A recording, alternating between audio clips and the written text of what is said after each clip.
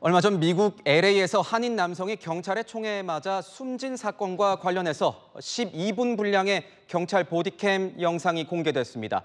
현지 경찰은 남성과 맞닥뜨린 지 8초 만에 가슴과 배를 향해서 총을 발사했는데 과잉 진압 논란이 일고 있습니다. 워싱턴에서 최주현 특파원이 전합니다. 정신질환을 앓고 있는 40대 아닌 양모 씨가 병원 이송을 거부한다는 신고를 받고 경찰이 도착합니다. He didn't make any threats to harm himself, correct? Uh, he said if you come in. 경찰이 진입을 시도하자 양 씨는 거부합니다. Can I have you open the door, Mr. Young? No, I do not, did not invite you.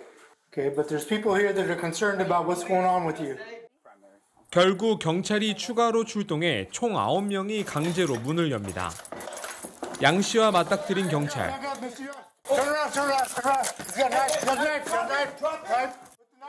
약 8초 만에 총격을 가합니다. 경찰이 느리게 편집한 영상에는 양 씨가 서너 걸음 정도 다가오는 모습이 포착됐습니다. 경찰은 양 씨에게 수갑을 채우고 상태를 확인합니다. Two chests, one stomach.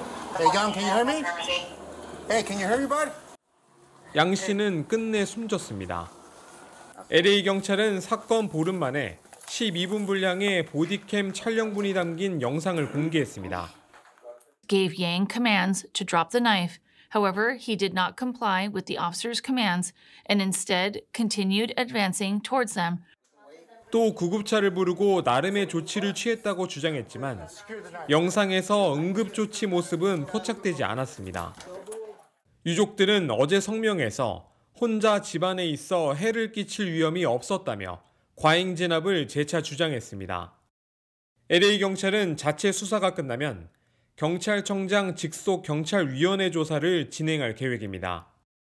LA 경찰 규정에는 범죄의 심각성과 용의자 저항 수준에 맞게 무력을 사용하도록 돼 있어 이 부분이 쟁점이 될 것으로 보입니다.